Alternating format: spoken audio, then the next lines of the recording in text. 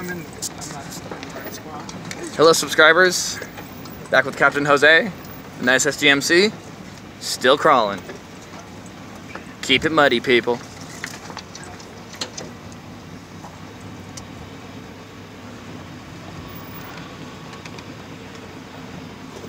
At the end of this video tour, we will be showing you the vehicle which we used. You'll see why we are going about 5 miles an hour, if that.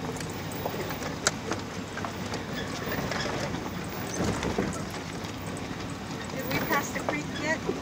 Yeah, Oh, that was the mud pit. oh, okay. Wow, I did something I did not want to do. What? Uh, I'm in the pit.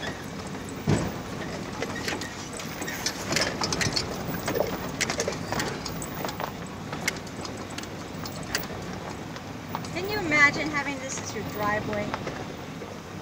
I'm not sure whether I'd hate it or love it. Some people in, what do they call? Iowa Hill have a driveway like this. Oh, one of my friends, she lives out uh, Drum Forebay. I had to drive up something like this on my motorcycle. Oh, wow. It was not fun. I got to her house and told her that she should consider my visit assisted suicide. I've never been out there. It's not something you want to drive on a motorcycle. Really? Well, it's not like this bad, but it's almost all gravel. Uh-huh. Some fairly decent turns, and my tires are not off-road rated at all. Oh, gotcha. So I had to go slower than this, going up the hill.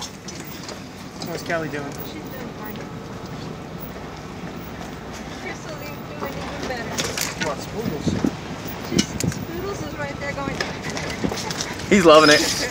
He's loving it. Oh, oh, we Push. get closer. we had a little bit of experience with uh, our warp drive there. Uh, almost took out our communications. that would have sucked. I probably would have ran on my phone. That's what I'm saying. I don't have the money to get a new one. Ooh, I like dash cam. Dash cam's pretty sweet, huh? With the angle I had up here, you can actually see what's like down in front coming onto us. Oh, really? Yeah. It's a sweet angle. I feel Like bad this 'cause- video right now is almost two and a half minutes. I feel bad because Jess isn't fucking with us, and she would have loved that. Yeah, I'll just have to do it again. Yep. But without a spotter. No, you need a spotter. Right now. We would have been stuck back there if I wasn't spotting. That's true. One of two things would have happened. Either you don't come with a spotter and you spot yourself, or you have someone, it's really helpful when you have someone spotting for you because they can tell you in more real time what's going on. Why professional drivers use a spotter.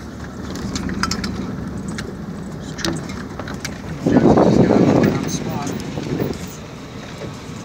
Sorry about the fingers, ladies and gentlemen. I don't know what I'm doing sometimes.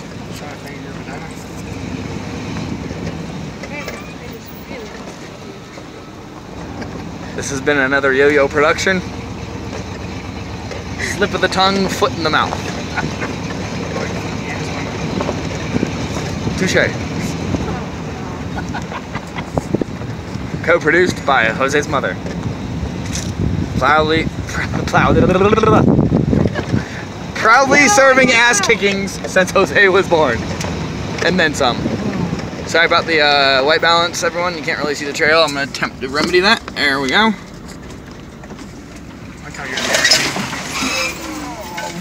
Oh.